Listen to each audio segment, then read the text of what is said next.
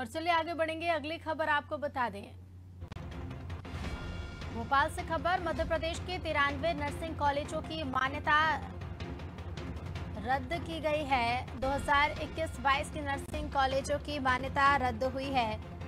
सूची में कॉलेजों में एडमिशन वाले छात्र वापस लें फ़ीस। छात्र अपनी कॉलेज से फ़ीस वापस लें, ये बात कही गई है। कॉलेजों ने दस्तावेज़ उपलब्ध नहीं कराए थे।